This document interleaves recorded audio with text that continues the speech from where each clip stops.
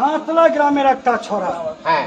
ও তো কেমন গো? কেমন? ও দোষকে বলিয়া জানাই সাতরা গ্রামের ঘটনা রে ভাই।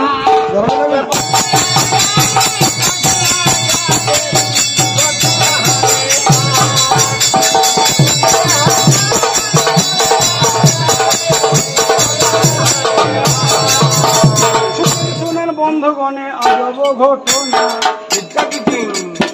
সাতরা গ্রামের কথা করিলে বর্ণনা দিলাম ও জেলা বীরভূমেতে জানেন সবে সবাতে জানাই আজকের দিনেতে ভাইরে নানু থানা হয়। নানু থানাতে আমার সাতরা গ্রাম ছিল। সঞ্জয় নামে দেখে এক ব্যক্তি ছিল। হিন্দু গ্রাম বটে, আমার সভাতে জানাই। হিন্দু মুসলমানে বাস করিত ভাই।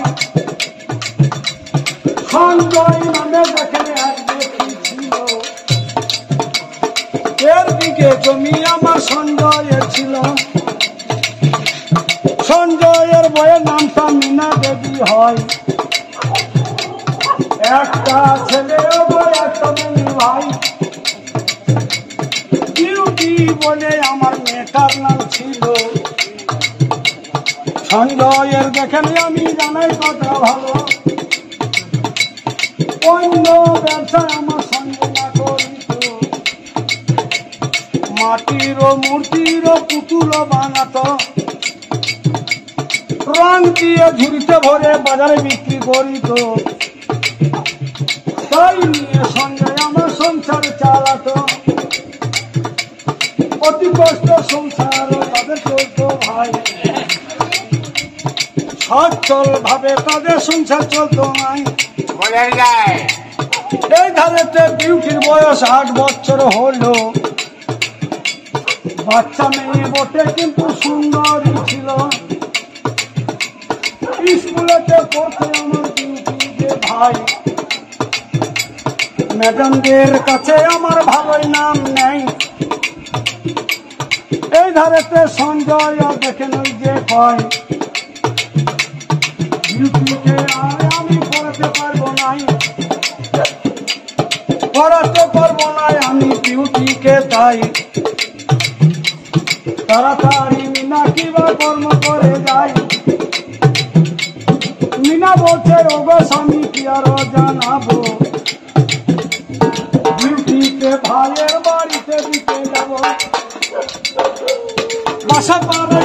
ওগো সভাতে জানাই।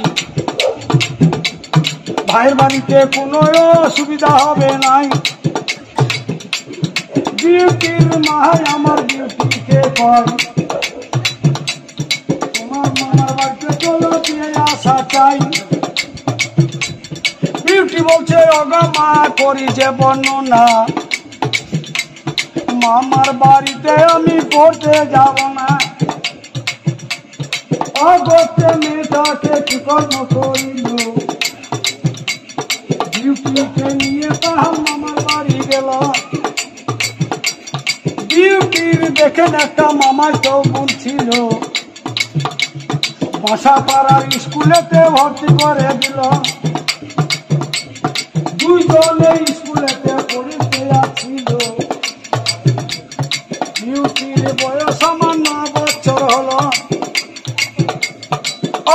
সুন্দরী আমার বিউটি যে ছিল। সাতরা গ্রামেতে মেলা চলে এলো। অঠের মাসে কিনবতে সতে জানাই। বিউটির মা বাবা আনতে যে যাই। বিউটিকে আনতে গেল জানার কথা ভালো। তার সঙ্গে দেখেন আমার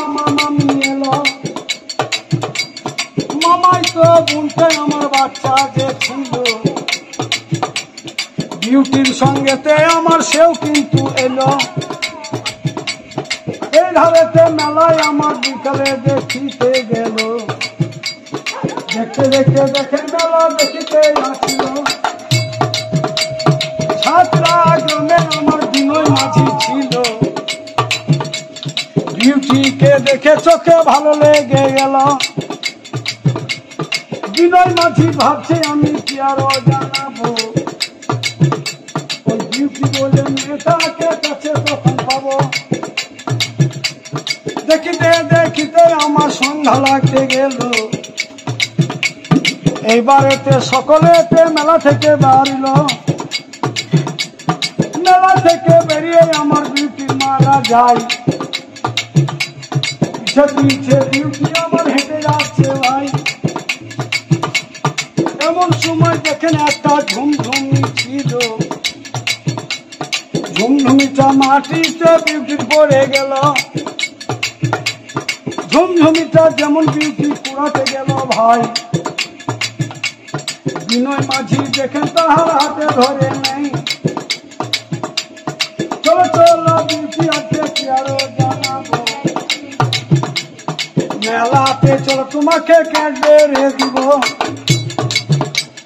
মা বাপ তারা কিন্তু দেখে দিল নাই। বিউটিকে নিয়ে গেল মেলার ভিতরে ভাই। মিষ্টি কিনে খাওয়াইলো, জানাই কথা ভালো। এমন সময় দেখেন অন্ধকার নেমে গেল। বিউটিকে বলছে, চলো কি আরও জানাব?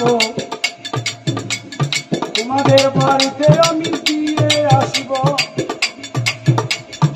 বেইমান বিনয় মাঝি কি কর্ম করিল?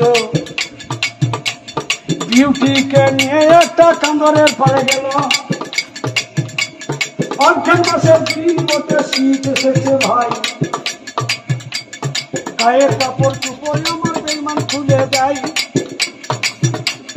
বাচ্চা মেয়েটাকে রেপো করিল। বাচ্চা মেয়ে দেখে আমার অজ্ঞান হয়ে গেল। অজ্ঞান হয়ে গেছে কিছুক্ষণ পর ওই যে ভাই। কিছুক্ষণ পরে বিউটির জ্ঞান ফিরে যায়। বিউটি বলছে, বিনয় দা জানাচ্ছে এই যে ভাবে, আমার উপরে তুমি এত অত্যাচার করিলে। কাল সকালে গিয়ে আমি কিলাবে বলিব। কিলাবেতে বলে, তোমার বিচার করিব? এই কথা বিনয় মাঝি যেমন শুনিল, মনে মনে বিনয় আমার চিন্তা করিল। বিউটি যদি বেঁচে থাকে জানাচ্ছে যে ভাবে। সব কথাগুলো কিন্তু ওই যে বলে দিবে। কথাগুলো বলে দিলে জানাচ্ছে যে ভাবে। ক্লাবের ছেলেরাই আমার মারপিট করিবে। আজকের দিনেতে আমি করি যে বর্ণনা। ডিউটিতে আজকে আমি জানিতে পারব না কোন টাকা খুলে নিয়ে কি কর্ম করিল? বিউটির গলাতে ফাঁস লাগিয়ে দিল। এমন ভাবে গলায় আমার ফাঁস লাগালো। বিউটির মুখ থেকে গছি পেরিয়ে গেল কিছুক্ষণ পরে আমার বিউটি মারা গেল। নাকে হাত দিয়ে আবার বিনয় গেছিল। নাকে হাত দিয়ে দেখছে নিঃশ্বাস নাই। তবু মনে মনে তাহার ভয় হচ্ছে ভাই। বিউটির লাশকে নিয়ে কি কর্ম করিল? মাথার উপরে তুলে আবার মাটিতে আছাড় দিল।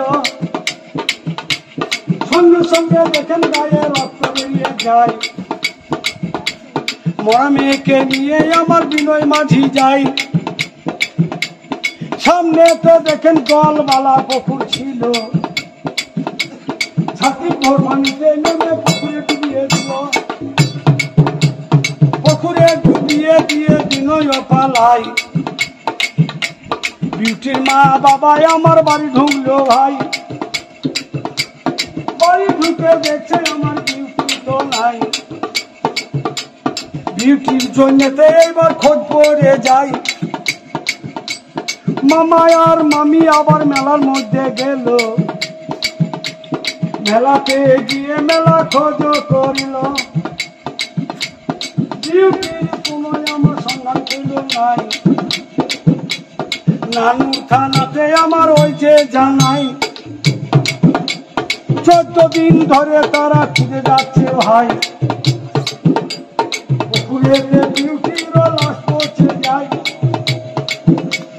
চোদ্দ দিন পরে আমার কি কর্ম করিল? মামাই তো বংশে আমার ওই যে বলিল, আজকের দিনে জানাই কথা ভালো। হাতে ধরে, ওগো বিনয় মাঝিকে সকলে চিন্ত ভাই। বিনয়কে দেখেন ক্লাবে ছেলেরা ধরে নেই।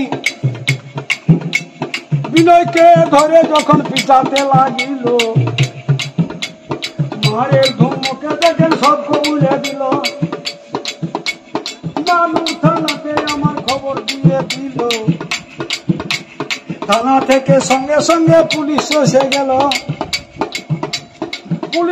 হাতে আমার বিনয়কে দেয়। কোন জায়গাতে লাশ আছে দেখা দেখাই বিনয় মাঝি পুলিশে আমার সঙ্গে করে নেয়। দেখিতে দেখিতে সেই পুকুরেতে যাই।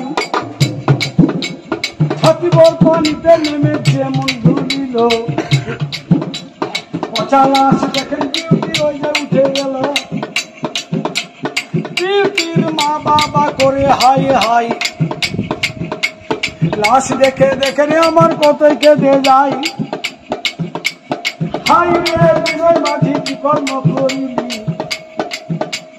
বাচ্চা মেয়েটাকে তুই রে করলি। রে করে তা করে মার্ডার করিলি। বল বল, থানাতে কি জবাব দিবি? ওই রাস্তা শিয়ানেতে হাসপাতালে দেয়। ওখানেতে গিয়ে আমার ময়না হলো ভাই। ময়না করার পরে আমার পুড়িয়ে দিল। নিজে নিজে দিনের মাটি সব কবুলে দিল। দুই বছর দেখেনি আমার কেসটা চলিল। বলপুরে জজ আমার বিচার করিল। বলপুরে জজ আমার বিচার করিল। বিনয় মাঝির দেখে গো ফাঁসির অর্ডার দিল। বিনয় মাঝির আমার ফাঁসির অর্ডার দিল। বিনয়ের বাবা আমার হাইকোর্ট করিল। হাইকোর্টে এখনও দেখেন কেস চলছে ভাই। বেশি দিনের কিন্তু কেসটা যে নাই। হাইকোর্টে কেস চলছে, জানাই কথা ভালো। আজাদ আলী ঘটনাটা সত্য বলিল। এই ঘটনা সত্য মতে মিথ্য কথা নয়। এক মনে আল্লাহ আল্লাহ বলিবেন সবাই